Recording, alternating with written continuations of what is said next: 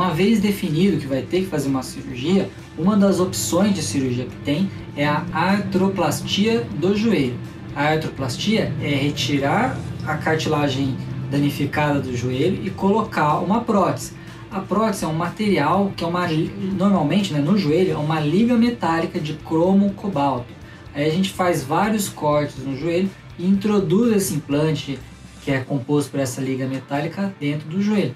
É como se o, no seu carro a roda do carro estivesse com problema e aí em vez de você trocar o carro todo, né, porque não dá para trocar o carro todo, a gente troca a roda inteira junto com o pneu e põe uma nova. Isso que a gente faz com a prótese. A gente troca que está ruim e deixa o, o carro lá inteiro, né, o, seu, o seu membro inteiro.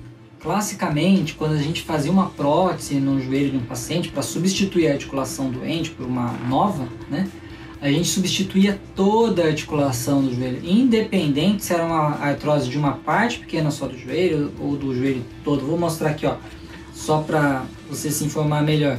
A artrose pode ser em todo o joelho, em todos os compartimentos do joelho, ou só numa partezinha aqui do joelho, só aqui, ou só aqui, ou só nessa parte. Então, para que fazer uma prótese enorme um problema pequeno. É como se fosse dar um tiro de canhão para matar uma formiga, né? Por isso que desde lá 1950 tem se é, desejado desenvolver uma prótese só para essa região, que é o que a gente chama de prótese unicompartimental.